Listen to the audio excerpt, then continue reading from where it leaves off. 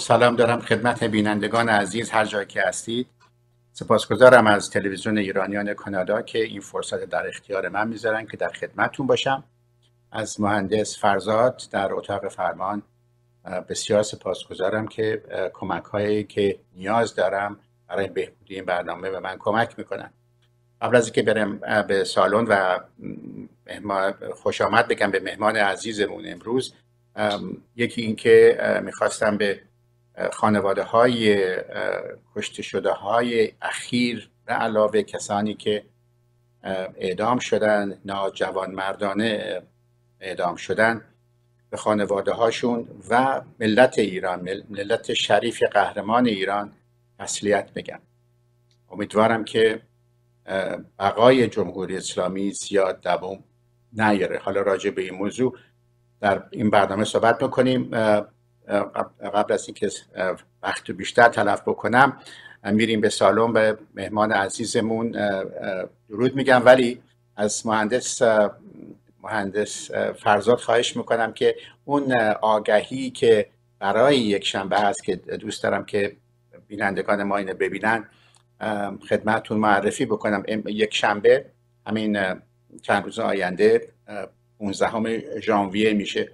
در دانتان تورنتو برنامه راهپیمایی و اعتراضات هست که امیدوارم که هموطنان عزیزمون که در تورنتو هستند یا در شهرهای دور هستن بتونن به این برنامه برگ بیان شرکت بکنن.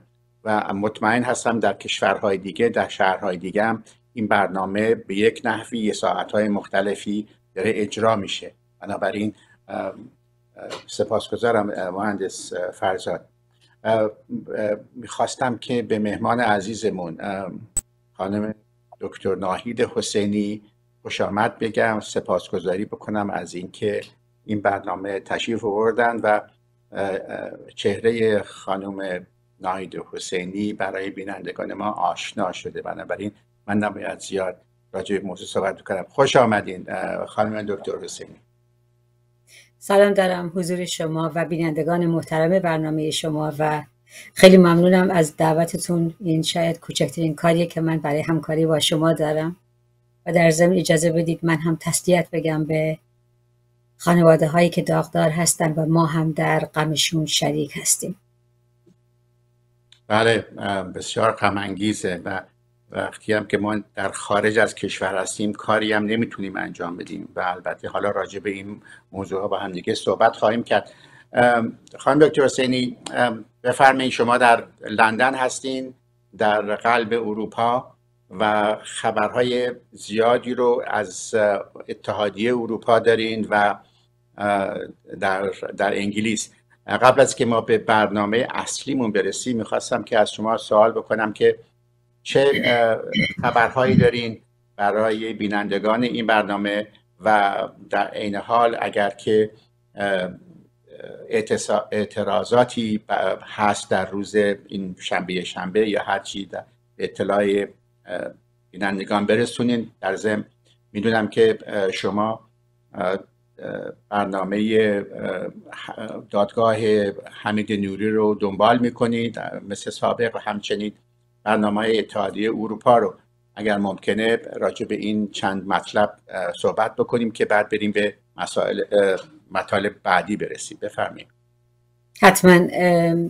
خبر خوبی که دارم آقای افشینجم در مورد نتیجه که در پارلمان, پارلمان انگلیس گرفته شد در رابطه با تروریست خوندن سپاه پاسداران تمام نمایندگان مجلس همه اونها در واقع از تروریستی خوندن سپاه پاسداران حمایت کردند و یکی از مسئولین وزارت امور خارجه که اونجا بود گفتش که این بسیار مهم هست ولی خب می‌دونیم که دولت بریتانیا ممکنه قبول نکنه چون وقتی که نمایندگان تصمیم می‌گیرن این حق محفوظ میمونه برای دولت بریتانیا که اونا هم تصمیم بگیرن. ولی این مسئول وزارت امور خارجه طوری صحبت کردش که به احتمال خیلی زیاد دولت هم قبول خواهد کرد. و این به نظر من خبر خیلی خوبی بود به دلیل اینکه دولت بریتانیا مماشات زیادی با جمهوری اسلامی داشته.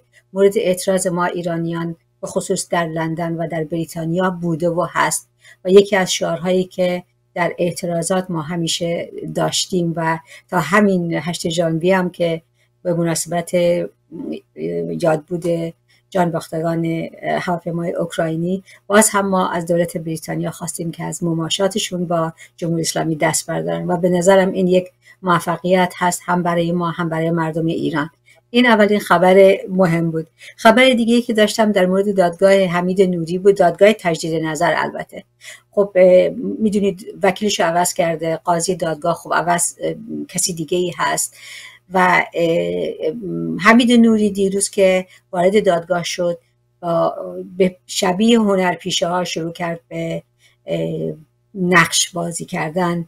و اینکه هم قربانیه و هم اینکه می‌خواست در واقع قدرتی نشون بده تسلطی پیدا بکنه به اون جوی که در اونجا وجود داشت و اجازه خواست که صحبت بکنه بهش اجازه داده شد در حالی که این خیلی مرسوم نیست. و شروع کرد به اینکه من چشمم نمی‌بینه عینک ندارم چهار تا عینک دستش بود نشون می‌داد. نمی‌دونم کسی پیش من نیست یک آفریقایی بوده با یک حالت توهین آمیزی نسبت به اون آفریقایی صحبت کرد.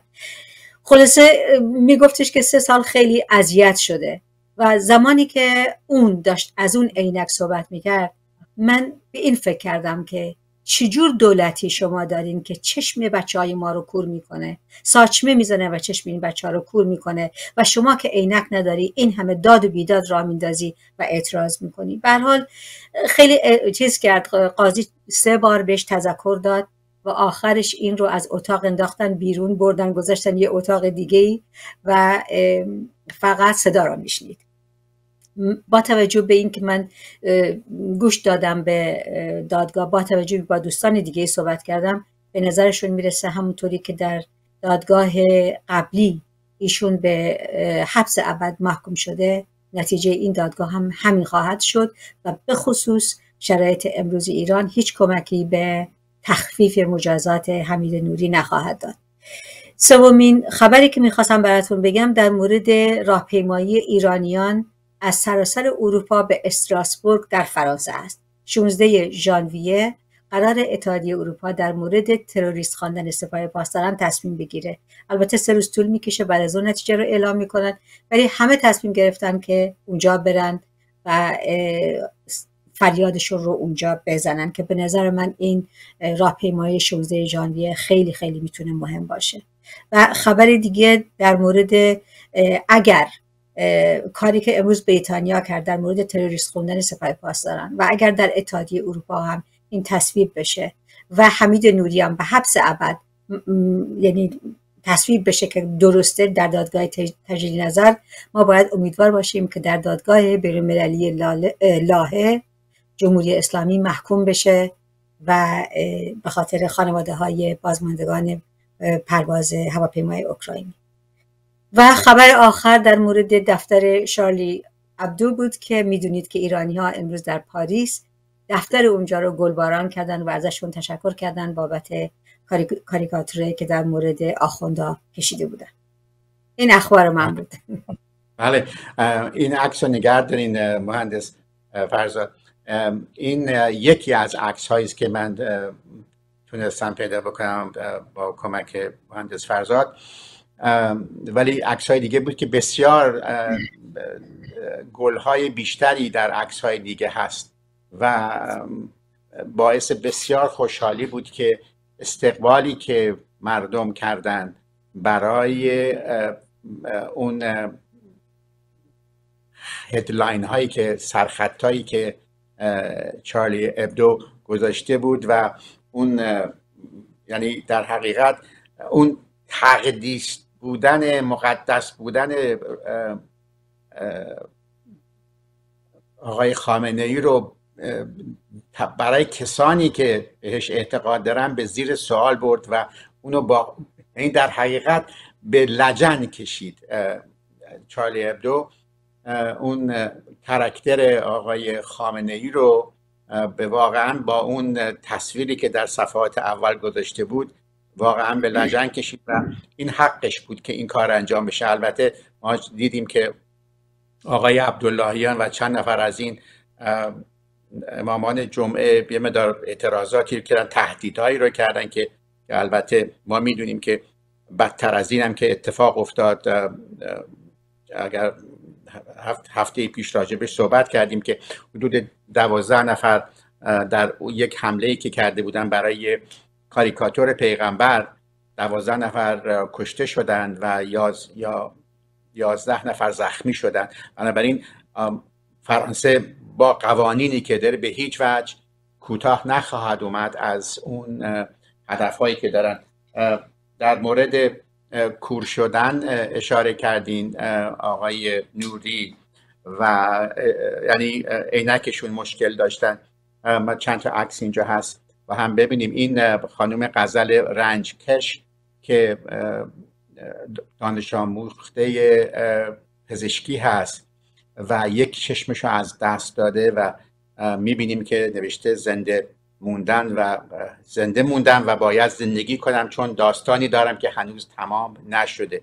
ما می‌دونیم این داستان تمام نشده چی هست و امیدوار است که اون روز رو ببینه و خواهد دید. من و این یک کسای دیگه هستن که یا دو تا چشمشون از دست دادن و یا یک رو از دست دادن. و وقتی که نگاه می‌کنیم به این عکس ها واقعا آدم می‌خواد خودشو واقعا نمی‌دونم چه واجهی رو مصرف بکنم. واقعا آدم می‌خواد بره سرش بزنه به دیوار و گریه بکنه زاری بکنه برای اینکه ببین این این جوانهای به این گل چه وضعیتی رو پیدا کردن. مخصوصا اونایی که دو چشمشونو من با یک گروه دو, دو چشمشون از دست دادن من با یک گروه پزشکانی که در کانادا هستن در تماس هستم باهاشون همکاری دارم. در موارد مختلفی و یکیشون می‌گفت که حدود تعداد بسیار زیادی رو حالا نمی‌خوام که ناراحتی ایجاد بکنم ولی بالاهای چندین صد افرادی هستن که چشمشون یا چشماشون رو از دست دادن و یا تخلیه شده و میباید این کار انجام بشه و ما و چون تحت فشار هستن خانواده ها تحت فشار هستن این اطلاعات بیرون نمیاد. بله و بعد ما می‌بینیم که آقای نوری راجب مشکل عینکش صحبت می‌کنه. راجب استراسبورگ فرمودین یه نماینده سوئد نماینده ایرانی تبار سوئد. فکر می‌کنم آقای آخوندی باشه اگر اشتباه نکنم. ایشون بله, بله، چند تا مصاحبه کردن و از مردم خواهش کردن تقاضا کردن که حتما در روز 16 هم حتما شرکت بکنن. چون این شرکت نشون میده که مردم چی می‌خوان و اتحادیه اروپا به حرف اینها گوش بده. بنابراین امیدوارم که بینندگان این برنامه که از طریق یوتیوب می‌تونن بگیرن و شما هم کمک می‌کنین توی توی لینک هایی که دارین بذارین که دیگر بینندگان هم این کار رو بکنن. در هر صورت خیلی ممنون از این اطلاعاتی که دادید و خبر به نظر من خانم دکتر حسینی این موضوع انگلیس و تروریست خواندن سپاه پاسداران بسیار خبر فوق العاده چون می می‌دونم کشورهای مشترک منافع مثل کانادا مثل استرالیا و نیوزیلند و دیگران بلا فاصله اونا هم حالا حالا به فاصله مثلا خیلی کم. اونا هم دنبال می‌کنن چون در این در این موارد با همدیگه شراکت دارن و مطمئنا اثر مثبت خواهد داشت برای اتحادیه اروپا. و اون حالا ما جلوتر از خودمون نمی‌خوام بریم ولی گذاشتن سپاه در لیست تروریست یک مراحل بسیار زیادی رو فشارهای زیادی رو به جمهوری اسلامی میاره. من در چند نوبت گذشته این اخیرا گفتم که سال 2023 به نظر من به یقین و اطلاعاتی که دارم و شما دارین و دیگران دارم و یه مدار اطلاعاتی هم از جاهای مختلفی رو می‌گیرم من به یقین می‌تونم میگم که سال 2023 پایان سال پایان حکومت جمهوری اسلامی خواهد بود. خبر بسیار خیلی ممنون خیلی دکتر حسینی این خبر رو دادین باعث خوشحالی من شد و مطمئنم بینندگان ما هم از این خبر بسیار خوشحال خواهم بود. می‌خواستم برم به یک شما راجع به صحبتی کردین که با موضوع سالگرد سومین سالگرد سقوط دادن هواپیما راجبش یک چند لحظه پیش صحبت کردیم اونجا چه اتفاقاتی افتاد که برای بینندگان بدونیم. چون می‌دونیم اینجا بسیار خبرهای زیادی بود. حالا قسمت بله. شما اونجا چه خبر بود؟ بله. ببینید گروهی که ارگنایز کرده بودن راهپیمایی لندن رو به نظر من خیلی زحمت کشیده بودن خیلی تلاش کرده بودن که همه گروه ها و کسانی که با هم اختلاف نظر دارن همه بتونن به راحتی در این راهپیمایی شرکت بکنن. اولین چیزی که دوست دارم بگم آقای افشینجم هوا بسیار سرد بود بارون باد و بسیاری از چترها شکسته شد. خانواده ها بودن که با کالسکه و بچهشون رو آورده بودن. پیر جوان زن و مرد. از همه جور شما ایرانی می‌تونستید و یا غیر ایرانی هم بودن حضور داشتن. در این راهپیمایی شرکت کرده بودن. و مسیر راهپیمایی از هایت پارک بود تا مرکز شهر ترافالگار سکویر که همون اوایلی که جمع شده بودیم نشون می‌داد که چقدر مردم با علاقه و احساس مسئولیت برای این راهپیمایی اومدن. من طوری که شنیدم به روایتی بیش از 20 هزار نفر در این راهپیمایی شرکت کردند نظم و ترتیب خوبی داشت علا رقم مشکلاتی که همیشه ما داریم در تظاهرات شعارهایی که داده میشه گروه گروه دیگر را قبول نداره. ولی جوی که در اونجا حاکم بود جو اتحاد همبستگی و به خصوص کسانی که برنامه را اجرا می‌کردند نقش بسیار موثری در این زمینه داشتند. کسانی که دعوت شده بودند خانم شیرین بادی بود آقای حالو بود. عالی پیام اگر اشتباه نکنم که ایشون به لندن اومدن یک ماه. و همینطور آقای نامدار بقایی و یک نماینده مجلس یه نفر از عفو بین الملل امید جلیلی که کمدین بسیار معروفی در بریتانیا هست. به هر حال علا رغم اون جو و اون هوای سرد مردم ایستادن و حمایت کردن و یکی از خانم اسمت که دو نفر از اعضای خانوادهش رو از دست داده در لندن هست. روز قبل روز شنبه ایده سر خاک اون دو جان باخته رفتیم ولی روز یک شنبه ایشون هم سخنرانی کردن بیانیه انجمن خانواده های جان باختگان رو خوندن. من فکر می‌کنم که یکی از دلایلی که امروز در مجلس بریتانیا همه نمایندگان حمایت کردن از اینکه سپاه پاسداران به عنوان تروریست خونده بشه عظمت و بزرگی اون راهپیمایی در لندن بود. بسیار من تحت تاثیر قرار گرفتم. از این همه جمعیت و از شهرهای بریتانیا اومده بودن از چندین شهر اروپایی اومده بودن. واقعا دستشون در نکنه کسانی که ارگنایز کردن این برنامه. بله.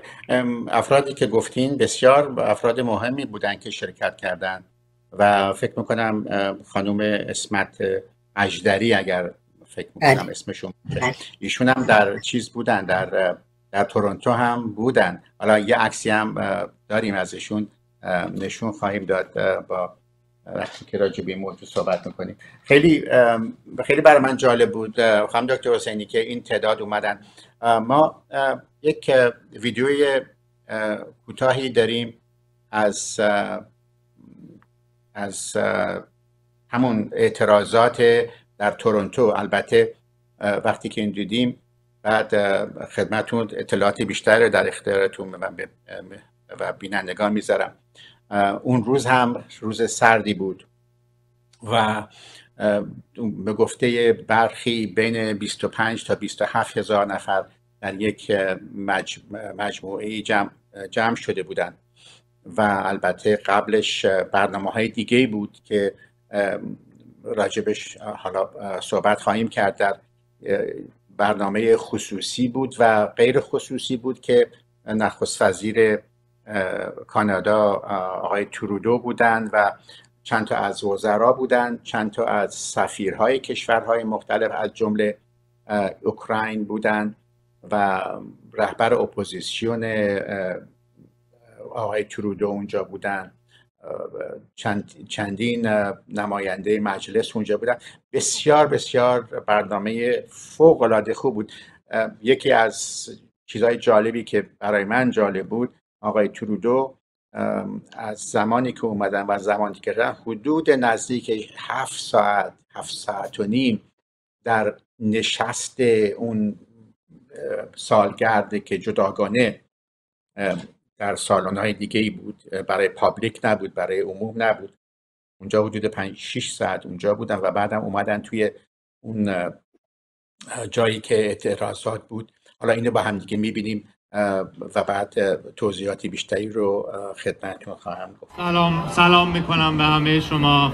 خیلی ممنونم که امروز حضور دارین. از طرف انجمن خانواده های جانباختگان پرواز پی 752 از همه شما ممنونم که در این هوای سرد در سومین سالگرد جنایتی فراموش نشدنی اینجا اومدید.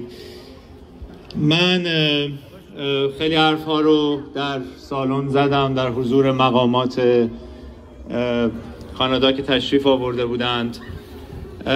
قبل از اینکه اون خواسته ها رو دوباره تکرار بکنم ما برای تقریبا 20 نفر از چهره های مدنی و سیاسی ایرانی دعوتنامه فرستاده بودیم. البته در زمان کوتاهی این کار رو کردیم و خوشحالیم که دی از اونا فرصتش رو داشتن و اجابت کردن و امروز در کنار خانواده ها هستند. از عزیزانی که اومده بودن از خانم مسیح علی نژاد خانم نازنین بنیادی آقای عبدالله محتدی آقای کاوه مدنی از خانم نازنین افشینجم آقای افشین افشینجم آقای کریم سجادپور آقای پیام اخوان آقای بابک یزدی آقای رضا مریدی آقای عطا هودشتیان آقای علی احساسی و آقای مایکل پارسا چهره های ایرانی که تشریف آوردن و در کنار ما بودن خیلی تشکر می‌کنم. بله. این ویدیو که البته مردم برای چندین ساعت اونجا بودن این قسمتی بود که فکر کردم که مربوط میشه به گفتمان امروز ما قسمتیش که خواستم که شما هم اینو بشنوید. در یکی از مطالبی که من می‌خواستم راجبش مطرح بکنم حالا چند تا عکس هم داریم که بعدا خواهیم دید. در رسانه های مختلف بسیار شکایت کردن که چرا شاهزاده نبوده و بعضی, بعضی ها هم اتهام زدن که ایشون دعوت نشده. من اینو به سراحت بگم شاهزاده دعوت داشتن و ایشون تشریف نیوردن حالا به دلایلی اون دیگه مشکل نیست که من بخوام راجع به صحبت کنم و من نمی‌دونم دلیل واقعی چجوره ولی چیزی که برای من مهم هست که اینجا مطرح بکنم این هست که شاهزاده دعوت داشتن و من خیلی زمان گذاشتم در این رسانه ها که قانع بکنم کسانی که اتهام می‌زنن که شاهزاده دعوت نداشته. و این درست نیست. و چون من در بطن جریان ها بودم. چون خود من همونطوری که اعلام کردم آقای اسماعیلیون من در, در این دعوت در این نشستای قبل از این برنامه و بعد از این برنامه در نشستای مختلفی نشست داشتیم. البته همونطور که ایشون اشاره کردن تعدادی که دعوت کردن همین که قبول کردن همین 20 نفر بودن در این حدود. بنابراین این مثل اون اعلامیه اولی که 5 6 نفر بودن الان مثلا 20 نفر شدن. این اول یا پایان کار نیست. بنابراین در برنامه های آینده اونطور که من متوجه شدم تعداد بسیار زیادی که فرصت نشده که شرکت بکنن احتمالا شرکت خواهند کرد. و این خواستم بگم که این تنها پایان کار نیست. بسیار بسیار خودتون خانم دکتر حسینی می‌دونین در این برنامه ها چه چقدر نیازهایی هست و ما چقدر افراد بسیار بسیار فرهیخته ای مثل خود جنابالی داریم که می‌تونن کمک کمک حال باشن. به علاوه قرار قرار بود یا که راجع به افرادی که در ایران هستند بسیار تعداد من فکر می‌کنم شاید 80 درصد در این حدود من تخمین می‌زنم. 70 درصد از کسانی که در آتی نیاز نیاز هستند که از اونا کمک گرفته بشه از داخل ایران خواهم بود و به تعداد بسیارشون در زندان ها هستند یا در مخفیگاه ها هستند و یا اینکه ممنوع صحبت هستند یا غیره. منظورم از گفتن این صحبت اینه که هموطنان ما بدونن که این فقط این 20 نفر یا 6 نفر یا هر چقدر هست نیستن و اون بالکش یعنی اون اکثریت کسانی که خواهند بود در این برنامه ها شرکت بکنن اکثرشون از داخل ایران هستن. ولی متاسفانه یا همونطور که کردم یا در زندان هستن که اگر بخوان اسمشون گفته بشه یا مجبورشون می‌کنن که بگن که نه ما نکردیم نه می‌دونیم ما کلک های جمهوری اسلامی رو می‌دونیم. اینقدر بهشون شکنجه میدن ازشون اعترافایی می‌گیرن که این کار رو بدنام بکنن این این شود که گردهمایی رو بدنام بکنن و یا اینکه اگر کم زندان نیستن باعث میشه که اونا ببرنشون تو زندان و ما نمی‌خوام که همچین یعنی گروهی که تشکیل شدن نمی‌خوان که خدای نکرده یک مشکلی برای اونها پیش بیاد. ولی روی سخنم برای کسانی است که اتهام زدن که چرا شاهزاده دعوت نشده. من حالا این پرسشم در حقیقت برای شاهزاده است و اونه که ایشون می‌تونستن بگن که بله دعوت شده بودن ولی به دلایلی نمی‌تونم یه خیلی طبیعیه. و بعد بعد از که این صحبت ها بزرگ شد و یک عده بسیار زیادی بسیار زیادی یعنی کسانی هستن که از جمهوری اسلامی هم هستن. بسیار کسایی هستن که می‌خوان ایجاد اشکال بکنن برای بستن دهن اونها هم میشه شاهزاده می‌تونستن بگن که بله من دعوت داشتم ولی نتونستم برم. این باعث میشه که اول که اتحاد بهتر بشه دوم دهن جمهوری اسلامی بسته بشه. سوم نشون میده که ما ارگانایز هستیم و این این نوع عدم همکاری یا اگر بخوام بگیم عدم همکاری نه شاید هم واژه درستی نباید بشه. مدیریت این کارها بسیار خیلی ساده است. فقط یک نوت بذارن که من دعوت داشتم نتونستم برم.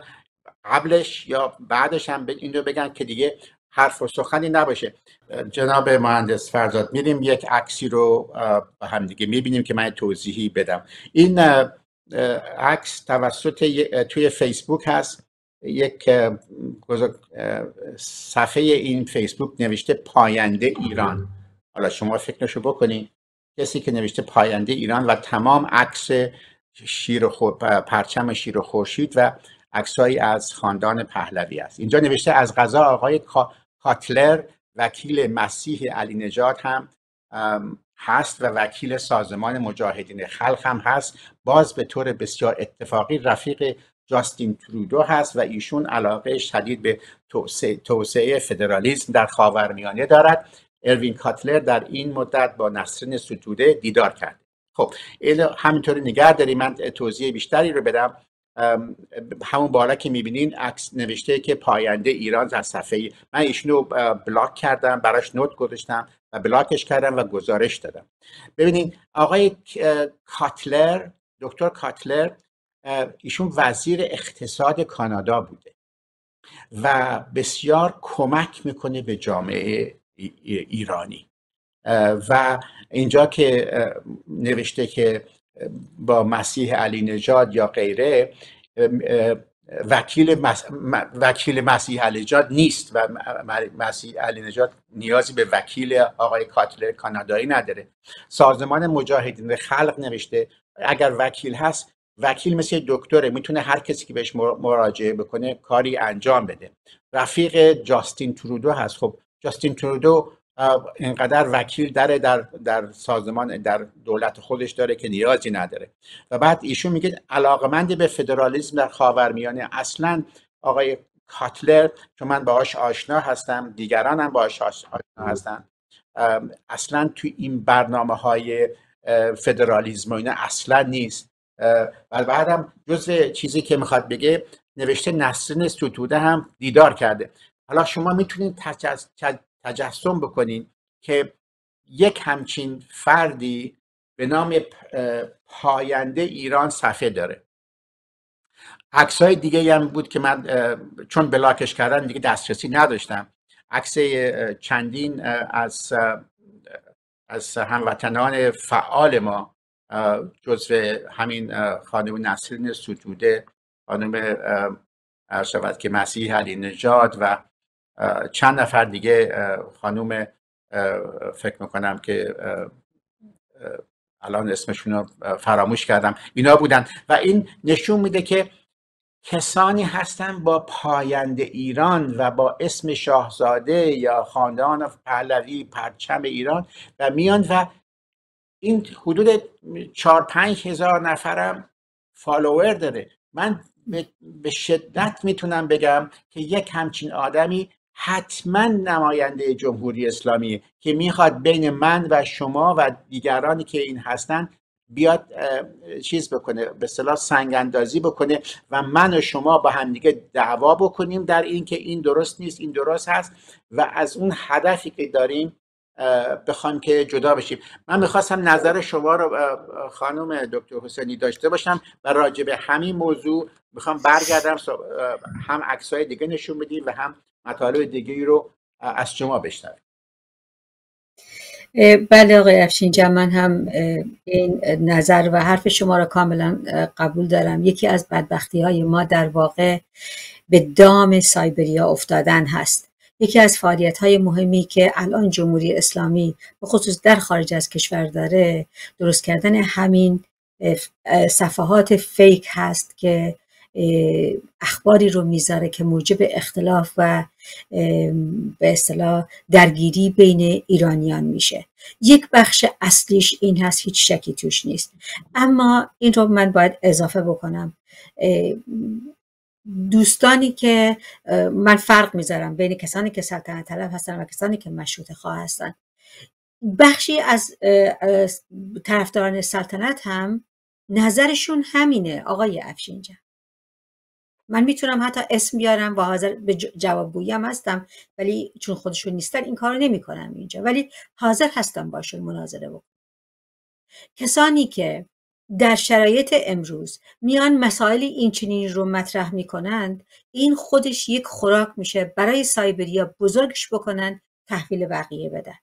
به طور مثال یکی از کارهایی که این افراد می‌کنند این هستش که منظورم اون طرفداران سلطنتی که به دام سایبریا میفتن به اعتقاد خودشون دوست ندارن هیچ گونه رقیبی برای شاهزاده رضا پهلوی وجود داشته باشه.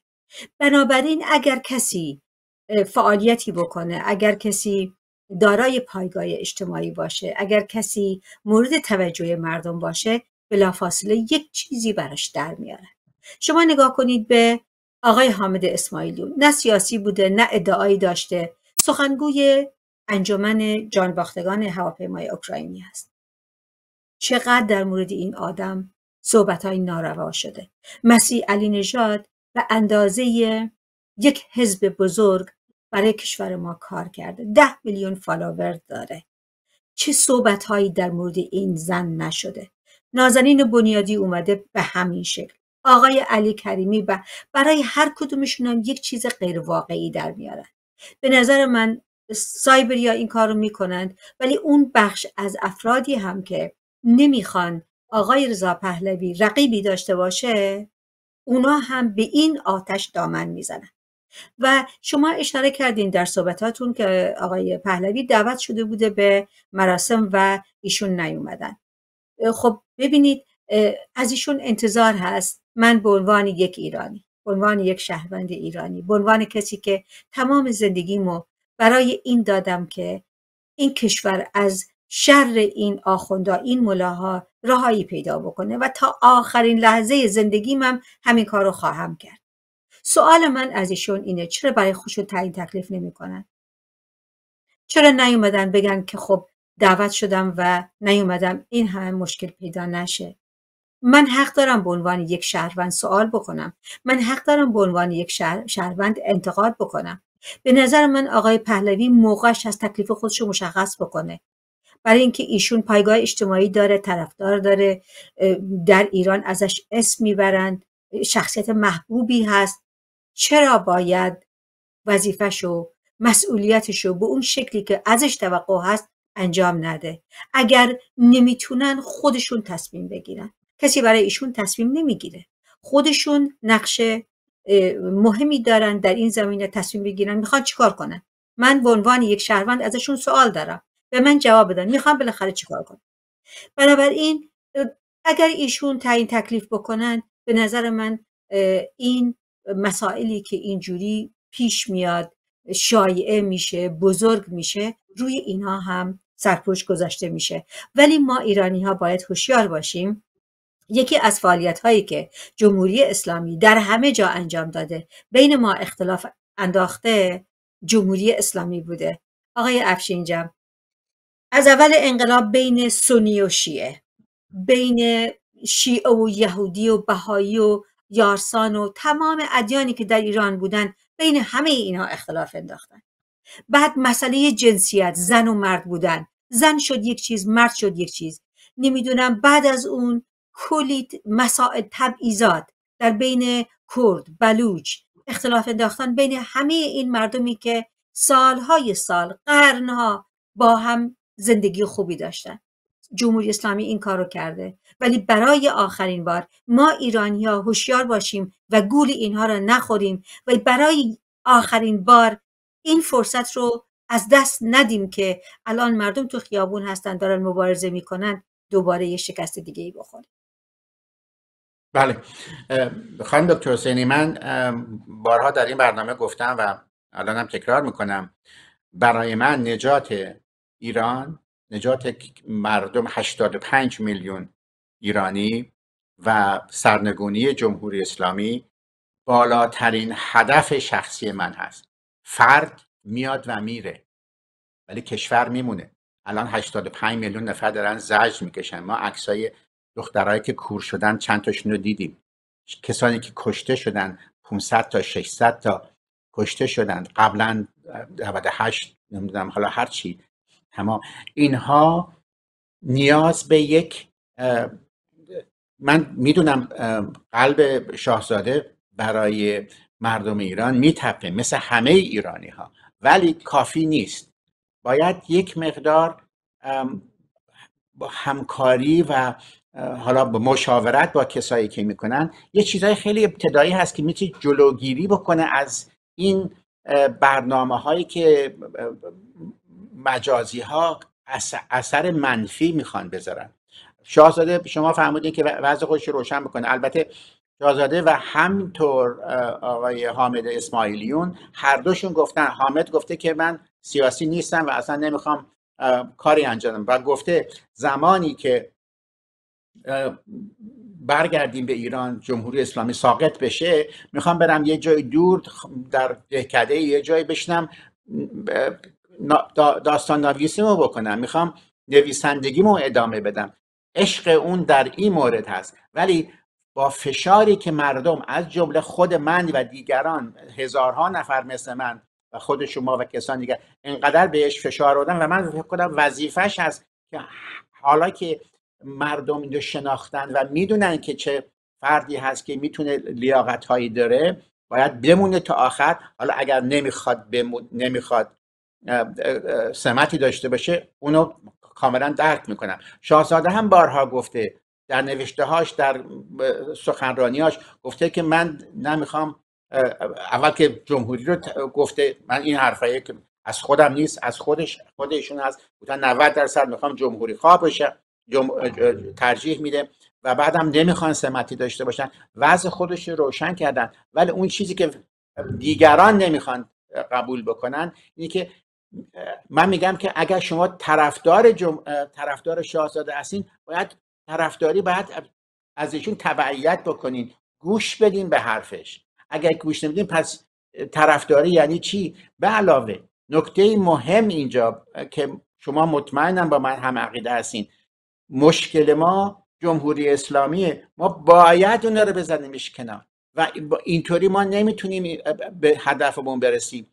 و این صحبت هایی که می‌کنیم همش بعد به صورت در حقیقت از روی دلسوزی هست که شما این صحبت رو می‌کنید. و بله. دلسوزی هست که حتی اسم رو نمی‌برین برای اینکه خدای نکرده مشکلی پیش نیاد. ولی می‌خوام اینو بگم خانم دکتر حسینی ما دیگه از هشتگ و نمی‌دونم وضعیت اینا گذشتیم. هر روز دارن کشته میشن. ما باید از این بریم به جلو و جلو رفتن ما.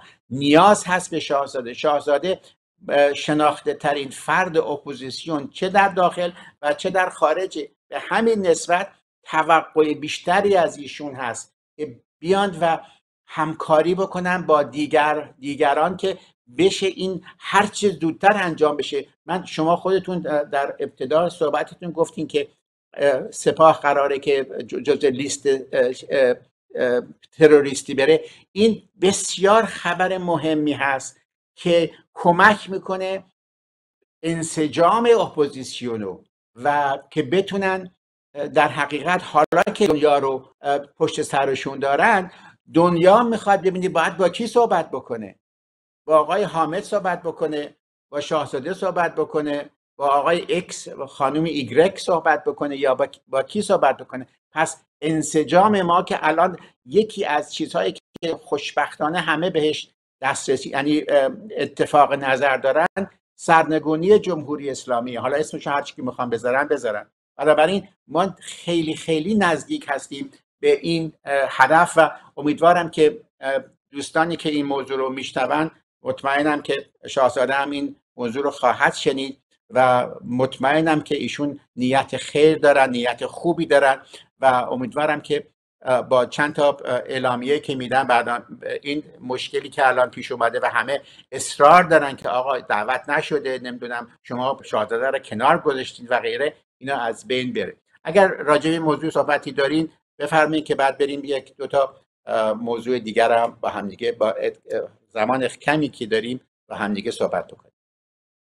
من فقط آقای افشین می‌خوام بگم که با این حرف شما کاملا موافق هستم این نظرتون. آقای رضا پهلوی همونطوری که گفتم خب الان موقعی هستش که ایشون باید مشخص بکنه که کجا ایستاده و چیکار می‌خواد بکنه طرفدارانش کیا هستن و کیا نیستن.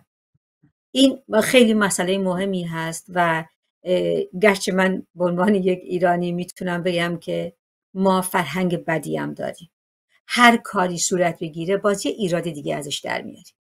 حداقل در این مقطع با هم سازشی بیشتری داشته باشیم با هم هماهنگی بیشتری داشته باشیم هم دیگر رو درک بکنیم. این مردم ما در داخل از نظر جسمی از نظر روحی داغونن. نون شب ندارن بخورن. من وقتی که اون ویدیو پدر محمد مهدی کرمی که می‌دونید الان اسمشو عوض کردن. بله. پدرش اعلام کرد اسمشو گذاشتیم آزاده آزادی کرمی. خب بله. وقتی که پدرش میاد اون شکل گریه می‌کنه و پسر جوان 22 سالش رو از دست داده. اون یک نمونه. محمد حسینی پدر مادر نداشته. کسی نتونسته جنازش رو تحویل بگیره. من حاضر شدم که به عنوان مادرش منو قبول بکنن که بتونم کاری انجام بدم.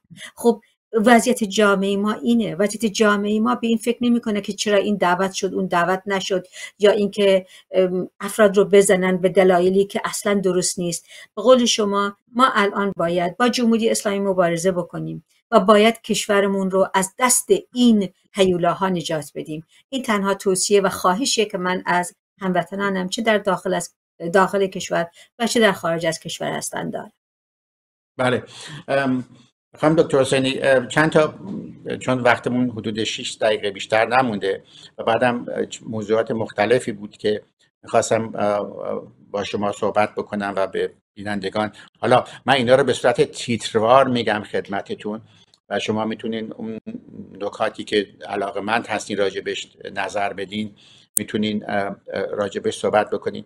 شما راجب وضعیت معیشت مردم صحبت کردین و نکته ای که برای من جالب بود. قبل از اینکه زمستون بیاد هم آقای پوتین و هم جمهوری اسلامی می‌گفتن که امسال اروپا یخ خواهد زد. مردم همه جنازه های یخ زده خواهند داشت. و الان ما می‌دونیم در داخل ایران مشکل گاز دارن. مشکل خود ایران مشکل گاز داره. و بعد وزیر مسئولش گفته که بیشتر بپوشین پولوور بپوشین نمی‌دونم این کارا رو بکنیم و بعد نکته دیگه این که این خبری که شما دادین راجع به انگلیس که سپاه میره در شود حضورتون که تروریست لیست تروریست این فراخان بعدیش احتمالا فراخان سفیرها ممکنه باشه و این بسیار کمک خواهد کرد که وضعیت یعنی در حقیقت اون مسیری که در اروپا میره و آمریکای شمالی به یک جای درن می‌رسن چون گفته شده که موضوع برجام دیگه اصلا مطرح نیست. یعنی در حقیقت ما داریم به یک مسیری میریم که اون مثلا tightness اون گرهی که قراره که زده بشه برای برکناری جمهوری اسلامی یواش یواش داره کلید می‌خوره. یعنی اون صحبت اولیه که کردم که 2023 پایان زندگی اینا خواهد بود واقعا داره اتفاق میفته نکته دیگه که خیلی سریع میگم که شما فرصت داشته باشین راجبش صحبت بکنین اینکه من با چند تا اقتصاددان صحبت می‌کردم و چند تا گزارش رو نگاه می‌کردم. معتقد بودن که تا پایان امسال ما ممکنه که دلار 60 70 هزار تومنی داشته باشیم و یکی از آنها می‌گفت که دلار ممکنه به 100 هزار تومن یک دلار به 100 هزار تومن برسه. و و بعد چاره چاره چیکار خواهند کرد؟ مجبورن که پول چاپ بکنن. یعنی فقط بانک مرکزی میشه چاپخونه برای پول. نتیجه چی میشه؟ قیمت ها میره بالا. قیمت ها که رفته بالا الان 20 درصد اضافه دادن به, به مردم به کارمندا یا غیره. ولی تورم الان 45 درصد یعنی اون پول 20 درصدی هم که بهشون داده شده برای کمک خرجیشون 25 درصد دیگه باز هم ارزش پولشون افتاده پایین. و حالا من آمارای دیگه آمارای دیگه ای دارم که کشورهای منطقه و کشورهای دیگه چقدر هر شود که وضعشون بهتر وضع زندگی مردم بهتر شده. برعکس وضع زندگی ما نسبت به چهل, چهل و چهار سال پیش حدود 2250 دلار درآمد مردم ما کمتر شده در حالی که بعضیا دو برابر یا سه برابر یا بعضیا شش برابر شده مثل کره جنوبی. در خدمت شما هستیم. این دو دقیقه که باقی مونده از شما بشنویم. بله. ببینید در مورد بودجه امسال باید بگم که بودجه رو که اعلام کردن آقای رئیسی گفتش که این بودجه حکم دولتیه حکم حکومتیه. یعنی آقای خامنه اجازه داده و ما اینو پیش می‌بریم کسی هم حق اعتراض نباید داشته باشه. من موقعی نگاه می‌کردم به لیست به اصطلاح بودجه برای مخارج سال آینده تمام بودجه های اصلی رو برای نهاد، نهادهای سرکوبگر گذاشتن. تبلیغات اسلامی، دانشگاه های اسلامی، سپاه پاسداران، بسیج و تمام نیروهایی که برای سرکوب در کشور هستند بودجه در اختیار اونا گذاشته شده. و بودجه آموزش و پرورش حفظ محیط زیست خیلی کمتر شده. مسئله بهداشت مسئله رسیدگی به مردم همه اینا نادیده گرفته شدن. می‌خوام بگم که ما یک حکومت ناکارآمد داریم. این حکومت ناکارآمد بحران های مختلفی رو در کشور وجود آورده و این بحران ها باعث میشه که این حکومت سقوط بکنه. ببینید کشور ما کشور ثروتمندیه. من گوش می‌کردم به یکی از کارشناسان نفت میگفتش که 18 درصد از ذخایر جهانی نفت متعلق به ایران است. یعنی بزرگترین ذخیره گاز رو ایران داره. و میگفتش که از این مقدار گاز 67 درصد اون به راحتی می‌تونه در اختیار مردم قرار بگیره بدون هیچ مشکلی. تا مردم این سرما و این بدبختی رو در طول زمستان نداشته باشن. از طرف دیگه آقای افشینجا مسئله مهمی که باید بهش توجه بکنیم این هستش که مسئله اوکراین و روسیه. ایران به روسیه کمک کرده در سرکوب مردم اوکراین و اروپایی اینو به هیچ شکلی حاضر نیستن بپذیرن. یک مسئله دیگه هم ایران می‌تونست نفتش جوری بفروشه گازش رو بفروشه ولی به خاطر روسیه به خاطر اینکه روسیه ضرر نکنه به نفع روسیه مردم خودش رو قربانی کرد. بنابراین هم از نظر داخلی هم از نظر منطقی و هم از نظر بینالمللی این حکومت ما جنایت مرتکب شده. این جنایت علیه کشور و مردم ما هستش. و در اروپا هم به هیچ عنوان حاضر نیستن بپذیرند این زورگویی جمهوری اسلامی. و من معتقد هستم که با توجه به همه بران هایی که جمهوری اسلامی ایجاد کرده بله موقعش هستش که حرفمو اینطوری تمام بکنم. ما ایرانی ها با هم همبستگی داشته باشیم. اینقدر مطب خشخاش نذاریم. به راه سازش سیاست یعنی سازش یعنی کامپرومایز. سیاست یعنی اون چیزی که ممکنه من بهش علاقه مند هستم ازش بگذرم به خاطر دیگری. تا ما بتونیم از شر جمهوری اسلامی راحت بشیم. بسیار سپاسگزارم که به موقع تموم کردیم. خانم دکتر حسینی از شما باز هم سپاسگزارم که باز هم در این برنامه شرکت کردیم همراه شما با بینندگان این برنامه به درود میگم. تا برنامه بعدی به خدمت شما باشیم. بدرود سپاسگزارم.